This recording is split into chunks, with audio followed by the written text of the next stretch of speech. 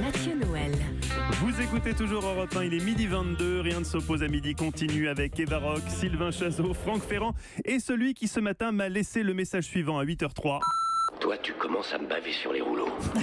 La cause de ce courroux justifié, l'impudence choquante d'un faquin barbu, novice dans l'art de la chronique, qui ce matin lui a chippé son idée. Guy Carlier voulait parler du Blue Monday, ce jour Oui, soi-disant le plus mais- déprimant de l'année. Malheureusement, comme je l'ai fait à 7h50, vous vous êtes rabattu sur une autre idée, le Oui, Crazy sur une autre Sunday. idée que je ne vais pas avoir le temps de développer parce que vous faites des lancements d'une minute.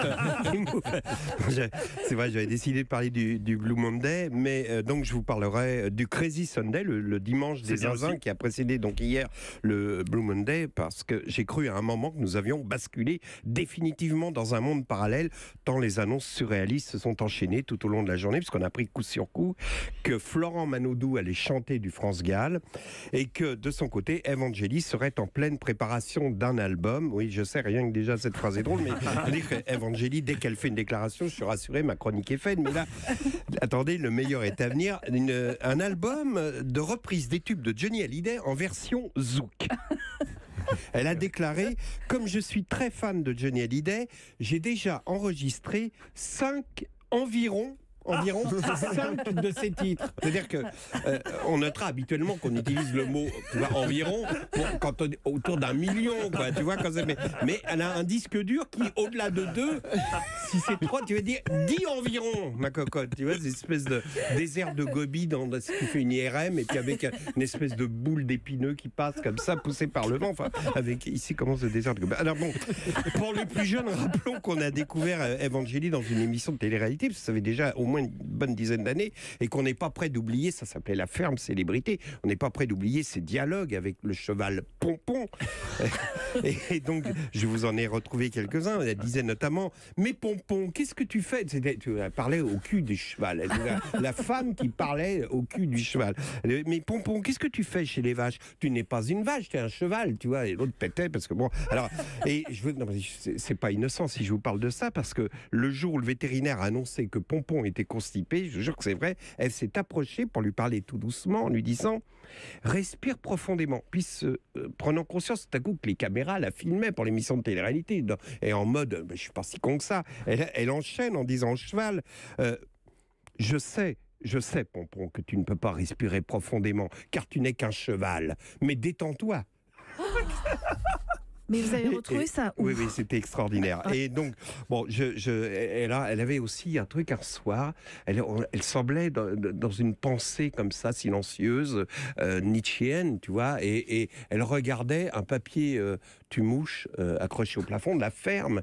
Et puis, elle finit, après un long silence, par dire Ça doit être affreux de mourir collé. Voilà. Donc voilà, voilà ce qu'était Evangélie qui, qui connut la gloire éphémère des héroïnes de télé-réalité, puis l'inexorable chute évidemment qui suit ce quart d'heure de célébrité dont parlait Andy Warhol. Et ce matin, je n'ai pas envie de me moquer d'elle car il y a quelques jours, non, Ça tombe bien. ouais, mais c'est une figure de rhétorique évidemment. Donc voilà, vous avez eu la pa- et maintenant nous retrouvons. C'est le, le, le petit plus du Carlier émotion que vous allez retrouver. Non, il y a quelques jours, je cherchais un bon programme à la télé que je ne trouvais pas, un peu comme dans Les Envahisseurs, David Vincent, je cherchais une route qu'il ne trouvait jamais. Donc j'ai rencontré Evangélie dans une improbable chaîne du Cap, dans une rediff d'un truc intitulé La vraie vie d'Evangélie. C'est évidemment pathétique. Elle a dorénavant décidé de faire dans le sexy. Donc on la voit prendre son bain dans une scène qui se voulait érotique, mais le diable se cache dans les détails. En l'occurrence, la crème dépilatoire sur l'étagère, un carreau qui se décoiffe. Enfin, c'était euh, épouvantable.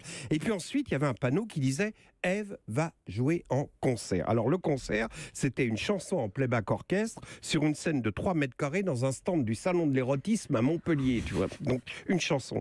Mais pourtant, peu à peu, ma, raillerie fit place à l'attendrissement, à l'émotion, et pour finir à une tendre affection, tant la sincérité de cette fille qui essaie de s'en sortir avec ses, moyens limités ressortait des images, et dans cette scène où on la voit recevoir ses parents, déjà le décor, une maison dans le lotissement du sud de la France avec le crépi provençal industriel, et le père qui arrive avec un gâteau euh, crème aux champs sous blister, tu vois, et Eve qui annonce à ses parents, ma maison de disque n'a pas renouvelé mon contrat, et on est bouleversé par l'inquiétude qu'on lit dans le regard du papa, et je vous jure que lorsqu'Ève murmure Je sais qu'on va dans le mur, mais le mur, on commence à le connaître. J'avais les larmes aux yeux. Ce doc s'intitule La vraie vie d'Evangeli. Le mot vrai est totalement justifié. C'est si rare dans le monde des médias. Cher Evangeli, continuez longtemps à jouer les idiotes. Ça rassure tellement les cons que nous sommes. Alors on va être obligé de l'inviter, je crois. Evangélie.